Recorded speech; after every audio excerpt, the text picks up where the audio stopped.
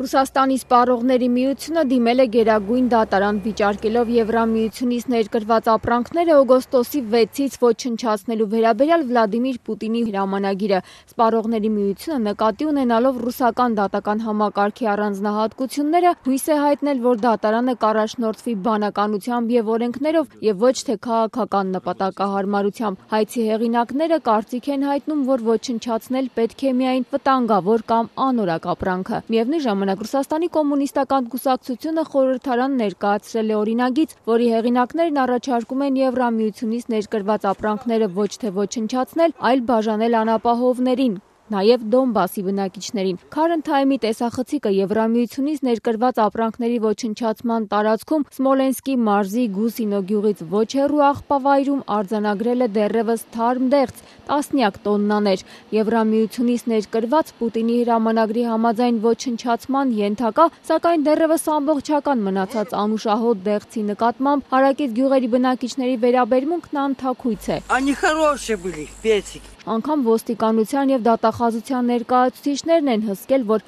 հանկարծ մարդիկ չտանեն։ Աղբավայրում հսկողություն իրականացնող կինը վկայում է, անգամ առաջարկել է դատախազին։ Я сказала, но Ասացի տվեք ծերանոցներին, հաշմանդամ երեխաներին, ասացին արգելված է։